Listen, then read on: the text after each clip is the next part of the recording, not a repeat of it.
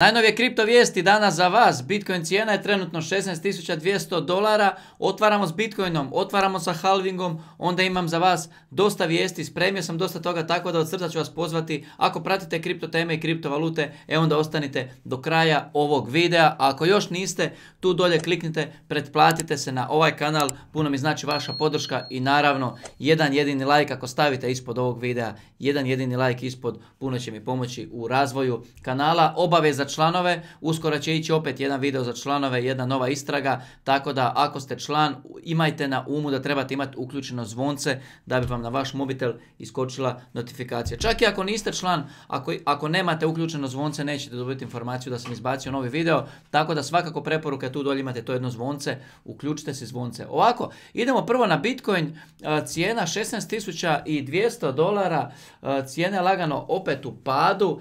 Da li, da li je to vezano uz vijest da je BlockFi danas ispunio ispunio zahtjev, službeni zahtjev za bankrot, malo je povuklo tržište prema dolje. E, vidjet ćemo long term i dalje vjerujem u Bitcoin. Ovo je super prilika, super prilika, ali ljudi morate imati na umu, to je samo moje osobno mišljenje, nije financijski savjet, nije kripto savjet kao ništa na ovom kanalu. Međutim, kad gledamo Bitcoin povijesno, kad gledamo gdje je sada, kad gledamo uh, sad kroz ovaj samo rainbow chart, želim vam pokazati nešto drugo. Želim vam pokazati ovu sliku, samo da malo to povećamo. Mnogi od vas ne znaju da je Bitcoin halving 2024. godine. Mnogi od vas uopće ne znaju što je Bitcoin halving. Svi početnici u kriptu uopće još nisu došli do ovih faza u svojim kripto istragama. Međutim, samo da skratimo, sljedeći halving je 2024. godine. Povijesno, Bitcoin se uvijek ponašao jednako nakon halvinga, znači uvijek smo imali jednu eksploziju, ljutu eksploziju i sada mi pričamo o sljedećem halvingu, svi gladni i žedni, brze zarade, brzinske zarade na kriptovalutama, mnogi nemaju strpljenja ulagati novac uopće o Bitcoin. Međutim, ajmo da ne pričamo o, o halvingu 2024. Ajde da ne pričamo o halvingu 2028. Ajmo otići do 2032. Mi smo danas u 2022. godini. Čisto da zamislite što znači jedna desetogodišnja investicija u Bitcoin i gdje bi vas mogla dovesti. Ljudi danas ovdje na Balkanu, općenito u svijetu, e, dižu stambeni kredit na 30 godina, na 30 godina da bi doslovno živjeli u tom malom stanu sa jednim, sa dvoje djece, moleći Boga da ne dobiju treće jer će im stan postati krletka, rade za banku 30 i nešto godina i žive onaj život hrčka, sprintaju, sprintaju, sprintaju u mjestu za hranu, za vodu i ne svaćaju da su im vrata kaveza bila stalno otvorena. Da li su u ovoj priči vrata kaveza Bitcoin? Morat ćete procijeniti sami. Znači, block rewards u ovom trenutku od halvinga 2020. znači to je za sve majnere, za sve majnere, za sve one koji proizvode Bitcoin, znači trenutno je 6,25, u 2016. se prepolovio bio 12,5, sad je 6,25, što znači da Bitcoin konstantno dolazi na tržište. Novi Bitcoin dolazi konstantno na tržište, bez obzira što ga ne dolazi puno, koliko god ljudi kupovali, koliko god ljudi investirali, mineri i dalje proizvode Bitcoin i prodaju ga na tržištu. I to je činjenica. I mi ćemo imati situaciju 2024. godine da se taj blok reward prepolavlja na 3,125 super, očekujemo eksploziju, očekujemo euforiju ovdje, očekujemo 2024. godine nakon halvinga da će opet cijena ići gore, svi očekujemo da će se Bitcoin ponašati jednako kao i sada svi kažu nije ista situacija svake godine. Tako je, nije ista. Međutim, nije ni prije par godina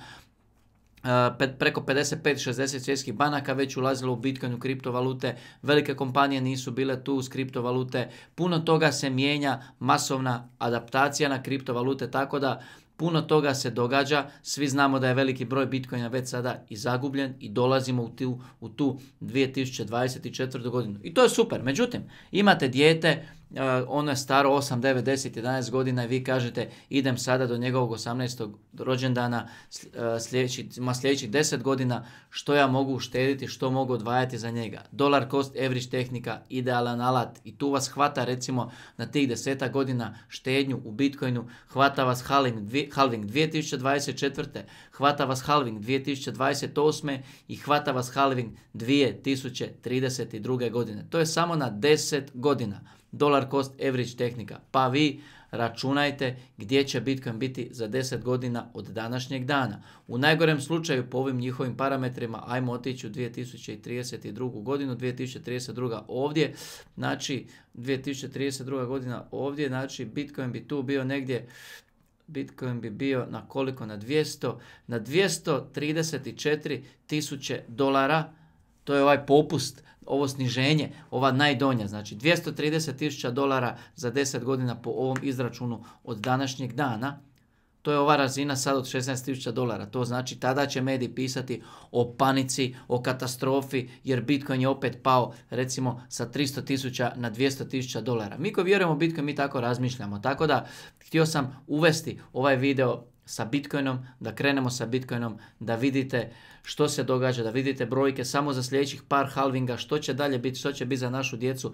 Uopće ne želim razmišljati toliko daleko u budućnosti, jer ipak treba živjeti i u sada, i u sadašnjem trenutku i niko od nas neće živjeti vječno. Naravno, samo Hajduk živi vječno, ali sada pričamo ovdje o Bitcoinu. Idemo mi zato na iduću temu. Iduća tema je opet vezana za Bitcoin, čisto da znate i ovaj podatak, a to je da je broj novčanika koji posjeduju jedan ili više Bitcoina u ovom trenutku u svijetu 950 tisuća. Znači, jedan veliki, veliki optimizam i tako dalje. Maskovo preuzimanje Twittera u kripto svijet će dovesti 200 miliona ljudi.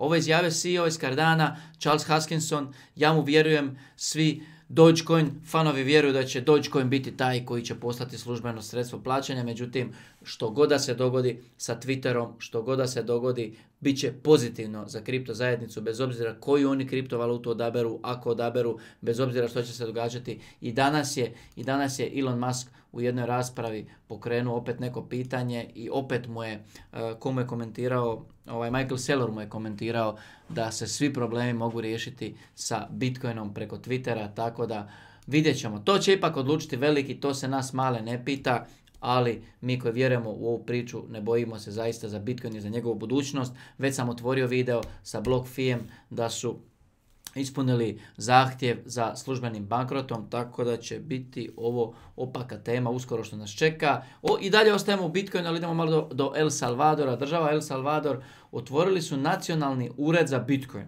Zamislite vi to.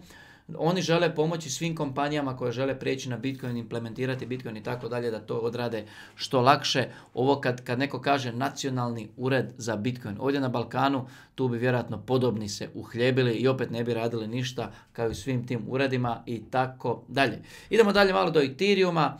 73 tisuće Ethereuma je neko pomaknuo na mjenjačnicu sa cold voleta. Ethereum odmah malo reagirao, malo išao dolje, međutim to je bila ta prva vijest, ja sam pomislio zaista da je zbog toga, međutim kad sam vidio e, kako su danas padali drugi, e, krivulja Ethereum je doslovno identična kao i nekim drugim kriptovalutama, tako da svi su, svi su padali jednako, tako da ništa od toga. Prije sam spomenuo Dogecoin, kako su krenule te glasine da će Elon Musk zaista staviti Dogecoin kao sredstvo plaćanja, tamo 22% u par dana je Doge skočio, to sam si zapisao kao napomenu da bude jedna od vijesti. Prije gledam, već je pao 12-13% od te razine. Tako da, neko je lijepo odradio ono buy the rumor, sell the news, kad se pričalo je kupovao, kad se priča zakuhala je krenuo prodavati, pokupio, pokupio lijepe, lijepe profite, tako da zna, zna čovjek što radi.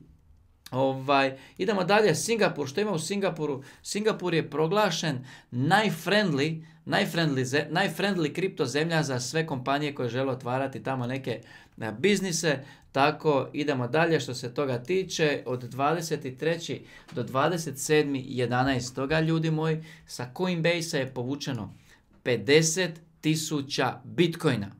Samo sa jedne kriptomjenjačnice ljudi doslovno masovno sklanjaju. Ljudi masovno sklanjaju e, svoje kriptovalute na, na volete, na leđere, bilo gdje sa strane. Čisto mislim da ćete propustiti ovu akciju jer ovaj video ćete vidjeti sad je 8.49, 9, možda je do ponoć možda traje, ali mislim da je ovo gotovo. Ovaj, u svakom slučaju ne znam da Ledger više daje 10% na, na, na svoj novčanik, međutim link za Ledger ću vam svakako staviti u opisu ovog videa. Ako vas zanima pogledajte i naravno pogledajte još videa tu na kanalu i mi se vidimo uskoro već u idućem. Ljudi veliki pozdrav!